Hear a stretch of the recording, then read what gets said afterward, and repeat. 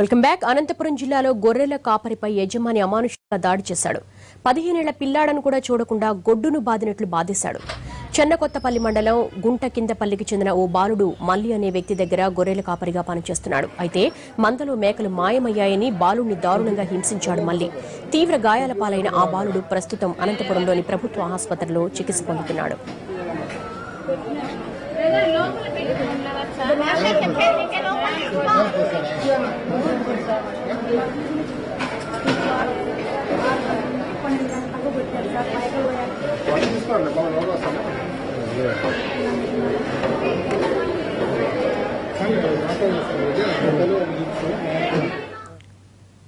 బాలుడిపై దాడి ఘటనకు సంబంధించి మరిన్ని వివరాలు మా ప్రతినిధి శ్రీనివాస్ అందిస్తారు. కొత్తపల్లి మండలం గుట్టుకిందపల్లిలో దారుణం చోటు చేసుకుంది. దాదాపు ముప్పై ఐదు వేల రూపాయలు జీతానికి ఉన్న బాలుడిపై యజమాని తీవ్రంగా గాయపరిచిన ఘటన జరిగింది.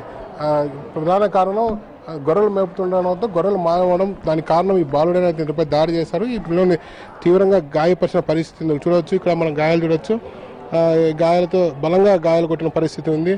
మరోవైపు ఈ చెవు భాగంలో ఏదైతే ఉందో చెవు చూస్తున్నాం ఈ చెవు భాగంపై కూడా తీవ్రంగా గాయపరిచిన పరిస్థితి ఉంది. మరోవైపు మరవంగాలను కూడా పూర్తిగా నలు నలిపివేశారని బాలుడు చెప్తూ అసలు ఏం జరిగింది? ఎందుకు ఈ బాలుని పైన దాడికి పాల్పడ్డారు అన్న కోణం పైన ఈ బాలుని అడిగి తెలుసుకునే ప్రయత్నం మరోవైపు చెయ్యి కూడా వాపు వచ్చిన పరిస్థితి చెయ్యి కూడా ఎత్తలేని పరిస్థితి.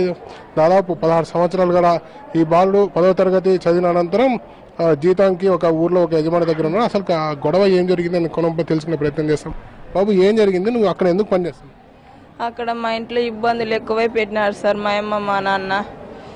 దాదూరు పడిచినప్పుడు ఎవరు ఐదు జీవాలు ఎత్తుకొని పోయినారు. ఎత్తుకొని పోయిన వల్ల మా మీద వేసినారు. మా ఊర్లో వ్యవసాయం నీళ్ళు వస్తున్నాయి ఊర్లో. వ్యవసాయం చేయాలనుకుంటా అంటే పోయిన వల్ల ఇట్లా ఇరిగించినారు సార్ మమ్మల్ని. అంటే వాళ్ళు డబ్బులు ఇవ్వలేదని చెప్పా చెప్పారా? లేకపోతే గొర్రెలు జీవాలు ఎత్తుకొని పోయినారని కొట్టినారు? నిన్ను? జీవాలు ఎత్తుకొని పోయినారు అనుకుంటున్నారు సార్. అసలు ఏం జరిగింది? జీవాలు ఎక్కడ పోయినా ఏమో సార్ నాకు తెలియదు ఎక్కడ ఎక్కడికి పిలిచిపోయినారు వాళ్ళు? నేను ఎక్కడ కొట్టినారు? దేవుడితో కొట్టినారు? ఎక్కడెక్కడ కొట్టారు? నన్ను అల్లా బగాస్ తోటలోకి తోలుకొని పోయి వేప చెట్టుకు కట్టేసి చేతులతోనూ కట్లతో కొట్టినారు సార్. అక్కడి నుంచి పిలిచిపోయి దొడ్లో ఈడిసి చేతులతో తొల్లకు కొట్టినారు సార్. ఆ తర్వాత వర్షం పడతాను సార్. ఇంటికాడ పిలిచిపోయి గేడేసేసి అంతలక బంద్ బందోబస్తు చేసి కొడవిలతో కొట్టినారు సార్ వాళ్ళు మద్యం సేవించి నన్ను కొడవిలతో కొట్టినారు.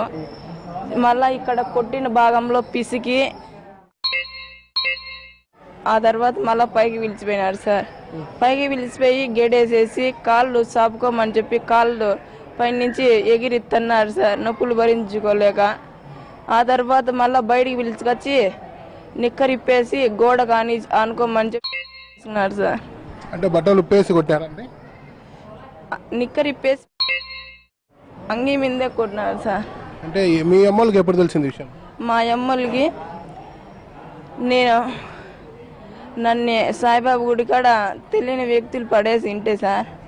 మా అవ్వకి తెల్ తెలిసింటే మా అన్నకు ఫోన్ చేసి పిలిపించినారు సార్. ప్రధానంగా ఈ మా బాలుడు మాట్లాడడానికి భయపడుతున్న పరిస్థితి ఉంది. ఒకవైపు నాలుక కూడా కొడవలతో కోసారని చెప్తున్నారు. మనం చూస్తున్న ఈ భాగాన్ని కొడవలతో కోసారని బాలుడు చెప్తున్నారు. మరోవైపు ఇక్కడ చూస్తున్న గాయాలు మాత్రం కట్టెలు అలాగే ఏదైతే ఉందో చెప్పులు కూడా తీసుకొని చితకబడినట్లు బాలుడు చెప్తున్న పరిస్థితి. మరోవైపు మనం చూస్తున్న చెయ్యి వాపు రావడం అలాగే మర్మంగా కూడా పిసికి బలవంతం చేయడంతో పాస్ కూడా రాని పరిస్థితి ఉందని చెప్తున్నారు. ఇప్పుడు సార్ నేను కాసి ఆరు నెలలు అయితే ఒక నెల బాగలేదు సార్. అప్పుడు గవర్నమెంట్ ఆసుపత్రిలో ట్రీట్మెంట్ చేయించుకున్నాను. ఇప్పుడు బోర్లో నీళ్ళు వస్తున్నాయని వ్యవసాయం చేసుకోవాలని పోవాలంటే ఇవే ఇవన్నీ మా మీద చేసినారు సార్. అంటే ఇప్పుడు నీళ్ళు వస్తా అంటే తోట పని చేసుకున్నామని అక్కడి నుంచి పోవాలనుకున్నావా నువ్వు? అక్కడి నుంచి అందరము పోవాలనుకున్నాం సార్. మా ఇంట్లో ఇబ్బందులు మా అన్నకు మా అన్న సమస్యలు జరిగింటే. ఇప్పుడు మీరు జీతం లేకుండా పోతారని చెప్పి దాడి చేశారు. అవును సార్. ఎంతమంది దాడి చేశారు? నన్ను నలుగురు దాడి చేసినారు సార్ కొట్టి. వాళ్ళంతా కొట్టిన తర్వాత నీకు నీకేమని చెప్పినారు? మీ ఇంట్లో చెప్పి కొడతామన్నారా మళ్ళా? అవన్నీ పైకి పిలిచిపోయి రైలు కింద రైలు కింద పడేసి వచ్చి మూట్లో కట్టేసి రెండు జీవాలు వేసి ఎవరన్నా ప్రజలు అడిగితే ఎట్లా జరిగిందంటే రైలు గుద్దేసిపోయింది జీవాలు తోలుకొని పోతా అంటే అని చెప్పినారు సార్.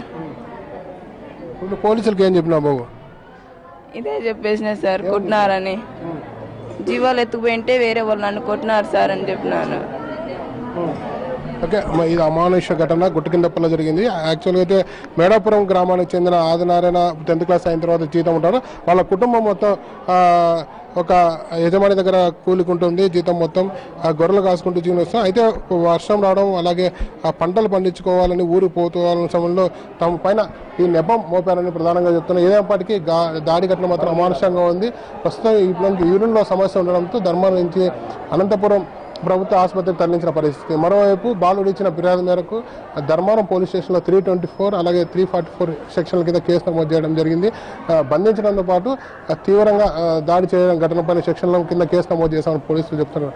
మరోవైపు ఎవరైతే ఇతన్ని కొట్టిన వ్యక్తి ఉన్నారో మళ్ళీ అలాగే ఇతని సన్నిహితులు కూడా గత రెండు రోజుల క్రితం తమ గొర్రెలు పోయినాయని పోలీస్ స్టేషన్లో కంప్లైంట్ ఇచ్చినట్టు తెలుస్తుంది. ఏదైనప్పటికీ పోలీసులు విచారణ తర్వాత అసలు అటలా ఏదని వెలుగులోకి వచ్చే అవకాశం ఉంది. Camera Srinivas TV